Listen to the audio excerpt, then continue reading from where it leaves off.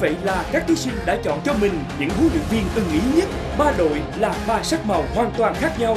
Đó là những gam màu tạo nên bức tranh đa sắc màu cho chương trình. Tuần sau, tại vòng tranh đấu, mỗi đội sẽ cử ra một thí sinh đơn ca hoặc nhóm thi đấu với nhau.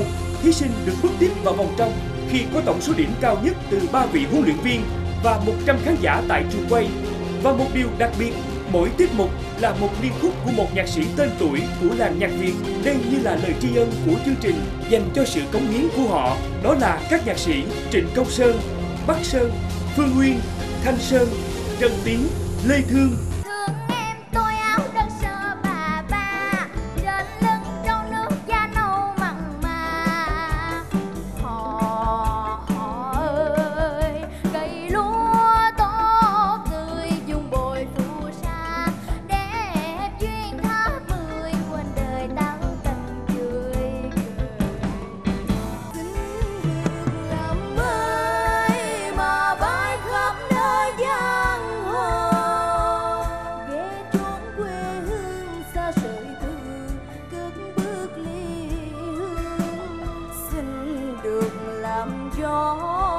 dập dìu đưa điệu ca nhau. Trái bếp hiên sao cũng ngọt ngào, một lời cho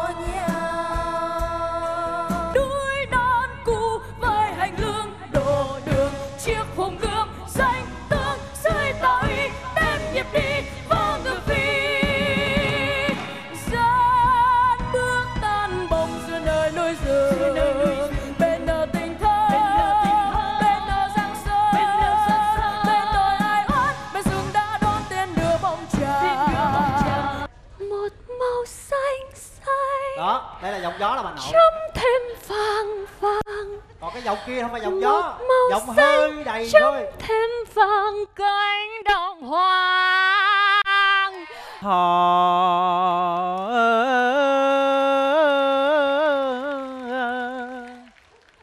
để em chín giải mười khờ thì có lẽ là công vinh sẽ quýnh anh. Trời ơi!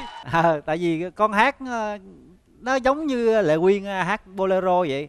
Nó nó- nó có một cái màu rất là sang. Một trong những thí sinh rất là nặng ký mà khi mà con hát cùng với ai đó thì các bạn sẽ dễ bị khớp lắm. Chiếc áo bà tiên sao bà dương lấy mặt